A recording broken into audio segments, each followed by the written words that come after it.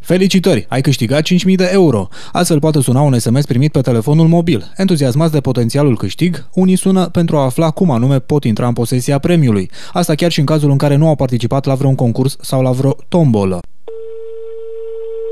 Bună ziua! Alo, bună ziua!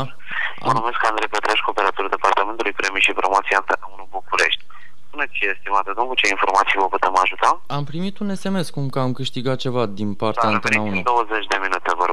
Totul se dovedește a fi de fapt doar o înșelătorie. Pentru a putea intra în posesia premiului, interlocutorul îți spune fie să cumperi cartele de reîncărcare de 100 de euro, ale căror coduri trebuie comunicate persoanei respective, fie trebuie să tastați un cod de pe telefonul mobil în cazul în care sunteți posesorul unui abonament. Acesta nu este decât un cod de transfer de credit pe telefonul respectivului. Am dorit să atragem atenția posesorilor de telefoane mobile să nu dea cu curs uh, solicitărilor de încărcări ale unor cartele telefonice pe motivul că au câștigat premii, că au câștigat uh, concursuri.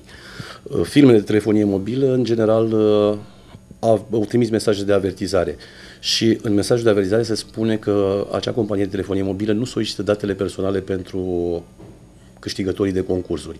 Deși pare curios, cei care se ocupă de astfel de înșelătorii sunt persoane aflate în spatele gratiilor. Deși aceștia nu au voie cu telefoane mobile, ei reușesc totuși să le introducă în penitenciar și mai mult decât atât, chiar să facă bani frumoși de pe urma naivilor. Sunt uh, tot mai multe cazuri la nivel de țară și la noi în județ au apărut câteva, în care anumiți indivizi se pare că încarcerați prin penitenciare folosesc uh, telefoane mobile pe care le introduc clandestin în, uh, în unitate și uh, sub pretextul că a câștigat un concurs solicită date dictează un anumit cod, care nu e altceva decât un cod de încărcare a unei cartele telefonice, pe care ulterior le folosesc în- și le valorifică, luându-și sume consistente de bani.